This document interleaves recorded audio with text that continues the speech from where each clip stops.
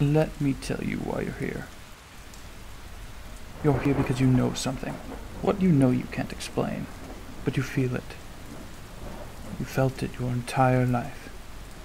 There's something wrong with the world. Don't know what it is, but it's there.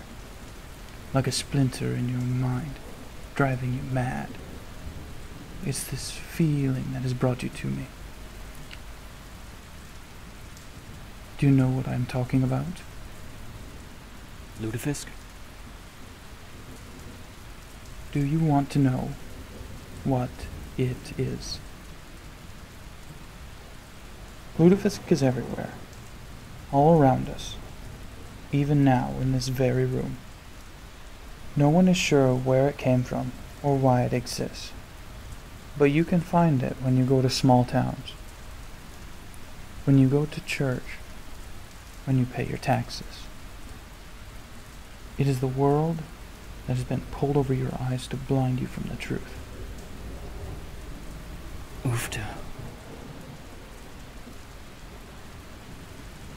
You're a Scandinavian, Neo.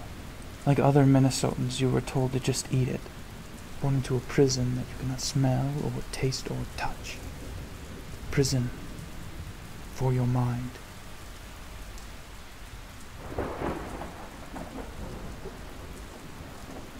Unfortunately, no one can be told what Lutefisk is. You have to see it for yourself.